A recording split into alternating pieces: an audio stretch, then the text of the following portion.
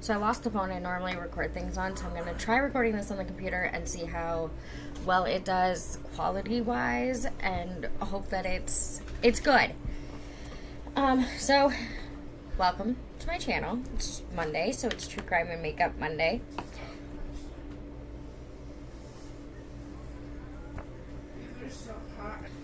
Today's story comes with a trigger warning, as usual. Necrophilia, rape, children, crimes against children, um, murder. Yeah. The usual.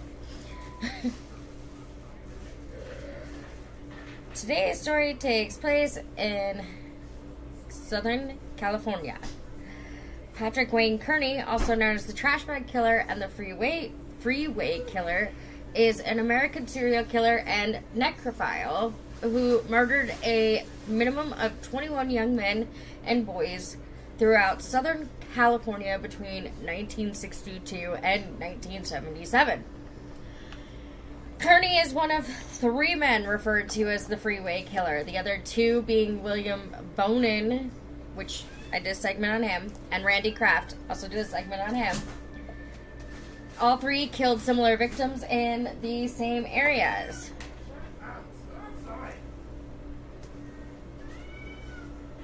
Oh, in this in the same general time span.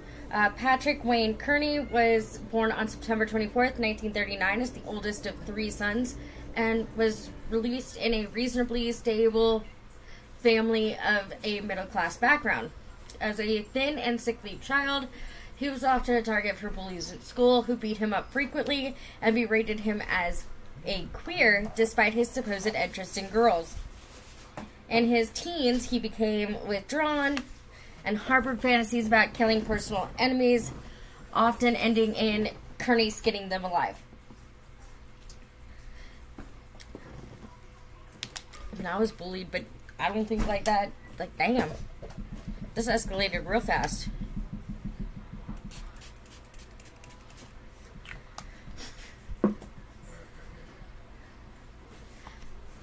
In addition, he developed sexual fantasies revolving around domination and began engaging in bestiality when he was 13. Fortunately, we're not going to get into that because that's just a big no no in YouTube land. Um, yeah. Born in East Los Angeles, California, Kearney also lived in Texas. He returned to California to he returned to California following a brief marriage that ended in divorce and eventually worked as an engineer for Hughes Aircraft. It was from his experiences in his early years in California that Kearney cultivated the skill as a gay pickup artist. Kearney mostly sought out partners in San Diego and Tijuana, Mexico, where he used his fluency in Spanish and keen interest in Latin American culture as a basis to connect with potential partners. Kearney claimed to have killed his first victim, a hitchhiker he picked up and murdered in Orange, California around 1962. And it did say Orange, but for some reason I feel like it was supposed to be like Orange County. But I, I don't know. It, it did say Orange. So, Californians, let me know if that uh, is accurate or correct. Um, he claimed several more victims, mostly transients before moving to Redondo Beach near Los Angeles in 1967 with a man named David Hill, who became his lover. As time passed, Hill and Kearney began to argue more often, and Kearney would go out for long solitary drives in his Volkswagen Beetle or his truck. Now, when I was reading this, I was like, okay, so like this is like Ted Bundy before Ted Bundy. Because if y'all recall, Ted Bundy also drove and abducted his victims in a Volkswagen Beetle.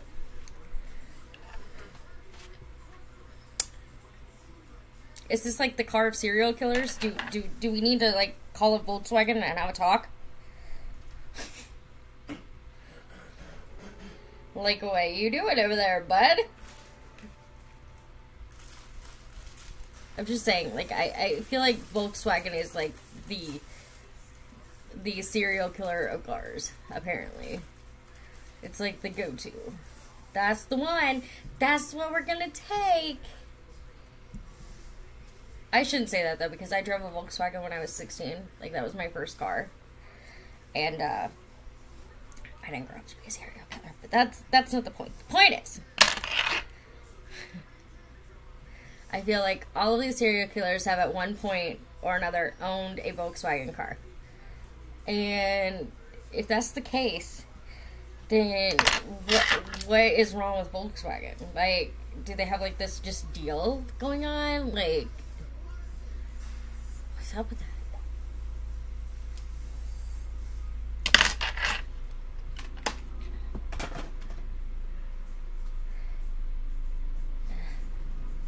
He would then pick up and kill young male hitchhikers or young men from gay bars.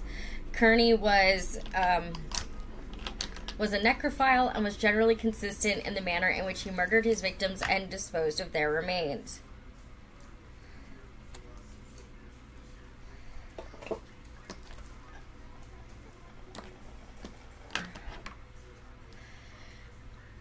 So sorry. Being of slight build, Kearney was forced to resort to a system of subduing his victims that was unlikely to fail or create situations which could place them in physical danger or cause unwanted exposure to authorities. He was not sadistic and did not inflict pain on his victims as the other two freeway killers did. Preferring quickness and efficiency. While Kearney did later confess to having mutilated his victims' bodies out of curiosity, such as cutting open one of their stomachs, he did so post mortem and did not inflict any physical suffering. Kearney confessed to having committed his, his, his first murder in spring of 1962. The victim's name is unknown, but he was confirmed to be age 19 and white. Kearney had convinced the male to take a ride on his motorcycle with him to a secluded area outside of Indio, California. When they arrived, Kearney shot the man in the head and sexually assaulted the body. It is unknown if the body was ever found, but Kearney did indeed confess to committing this murder and two additional ones during 1962. The second victim was the younger cousin of Kearney's first victim, who had witnessed Kearney drive away with the first victim.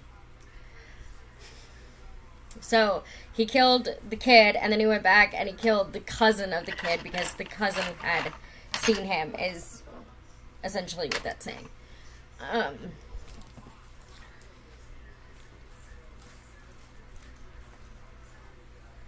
as um, the first murder that Kearney confessed to and was convicted of occurred sometime around Christmas of 1968 while he was living in Culver City approximately one year after he and David Hill had taken residence together.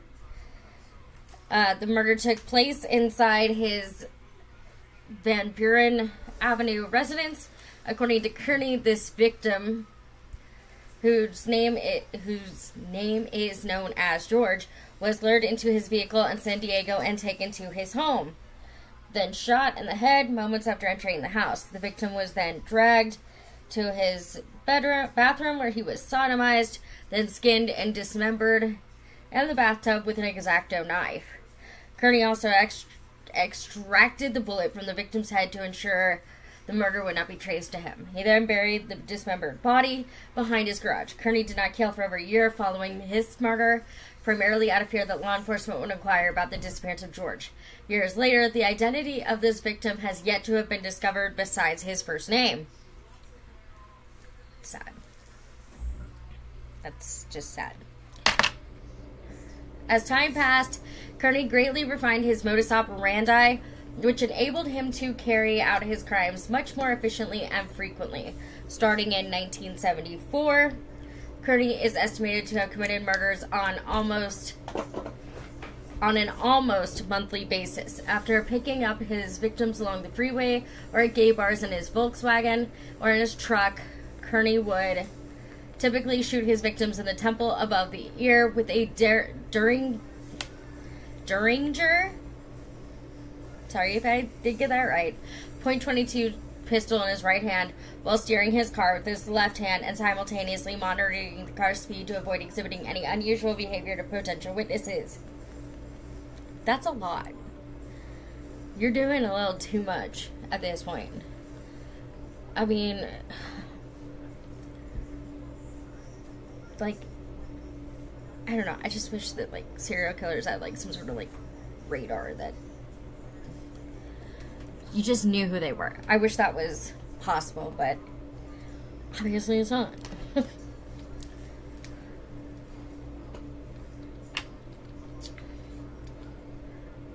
After murdering his victims, Kearney would leave the bodies, slumped upright in the passenger seat, and drive to a secluded area to sexually violate them. After copulating with his victims' corpses, Kearney would usually mutilate and dismember. Usually, um, sorry, would usually mutilate and dismember the remains with a hacksaw before disposing of them in various locations such as canyons, landfills, and along the freeways, usually in industrial trash bags. In some cases, Kearney disposed of the bodies in the desert where they would be consumed by carrion eating animals. Kearney would sometimes drain the victim's blood to eliminate odor and would also sometimes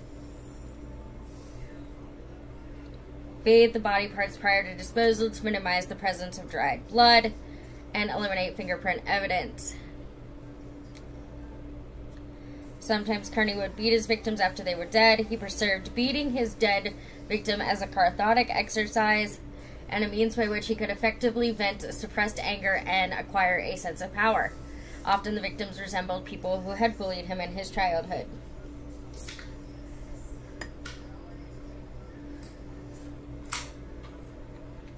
Although Kearney primarily preyed on young men, there were known child and adolescent victims as well.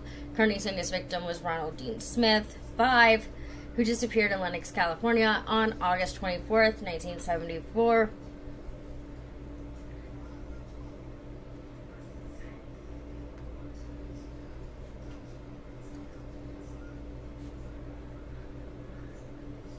His body was discovered in Riverside County on um, October 12, 1974.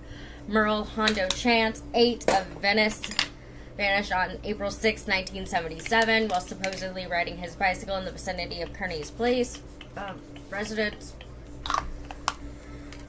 Sorry, place of work. Kearney claims to have smothered the body, taken his body home overnight, and later disposed of the remains in the Angeles National Forest off Angeles Crest Highway, approximately 11 miles north of Altadena.